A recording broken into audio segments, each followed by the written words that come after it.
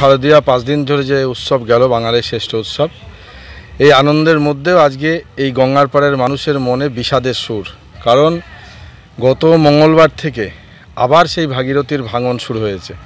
এখানে একটা বিরাট জায়গা নিয়ে যেটা শান্তিপুর পৌরসভার চব্বিশটা ওয়ার্ডে যে পরিশুদ্ধ পানীয় জল ডিস্ট্রিবিউট হয়, ঠিক সেই ইনটেক পয়েন্টের পাশ থেকে আজকে প্রায় দেড়শো মিটার ধরে এলাকায় ভাঙন শুরু হয়েছে। তার তিন থেকে সাড়ে তিনটা, সাড়ে তিন মিটারের মধ্যে আমাদের পৌরসভার পিচের রাস্তা, আজকে দেড়শো বছরের প্রাচীন বটগাছ এবং চার মিটারের মধ্যে স্টিমারঘাট প্রাইমারি জিএসএফপি স্কুল এবং ঘন বসতি, সব পাকা বাড়ি।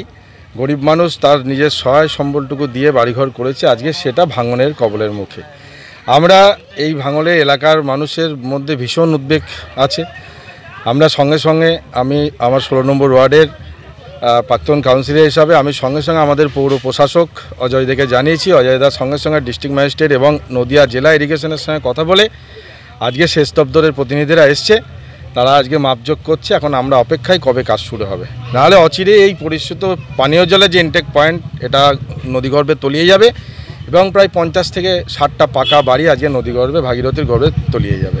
নাম আমি বৃন্দাবন প্রামাণিক, শান্তিপুর এই ষোলো নম্বর ওয়ার্ডের প্রাক্তন কাউন্সিলর যদি এখনও আমাদের খবরের দর্পণ চ্যানেলটি সাবস্ক্রাইব না করে থাকেন, তাহলে এখনই সাবস্ক্রাইব করুন।